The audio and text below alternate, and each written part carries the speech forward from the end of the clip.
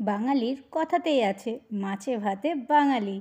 আর মাছটা যদি ইলিশ মাছ হয়, তাহলে তো কোনো কথাই নেই, কারণ কম বেশি সকলেরই ইলিশ মাছ প্রিয়। আজ আমি বানাবো ইলিশ মাছের ডিমের বড়া। এখানে আমি দুশো গ্রামের মতন ইলিশ মাছের ডিম নিয়েছি। এবার এর মধ্যে এক এক করে পেঁয়াজ কুচি, আদা কুচি, লঙ্কা কুচি, স্বাদ মতন লবণ আর সর্ষে তেল দেব। তারপর সব কিছুকে ভালো মতন করে মেখে নেব।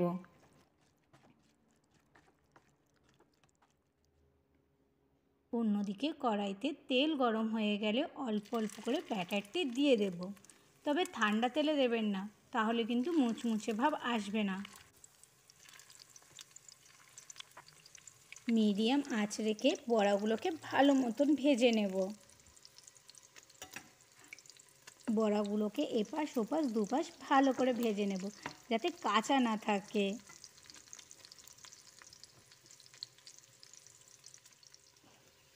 এপাশ ওপাশ ভাজতে ভাজতে আর বক বক করতে করতে রেডি হয়ে গেল। আমার আজকের রেসিপি লোভনীয় ইলিশ মাছের ডিমের বড়া। কড়াই থেকে গরম গরম তুলে নিয়ে পরিবেশন করলাম ডাল ভাতের সাথে।